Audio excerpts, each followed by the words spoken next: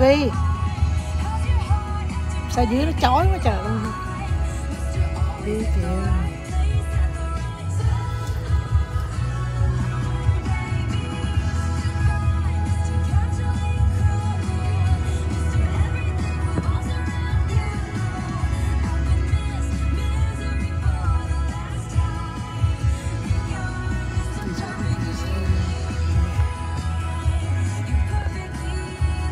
Vì đây tắm mừng kìa Vi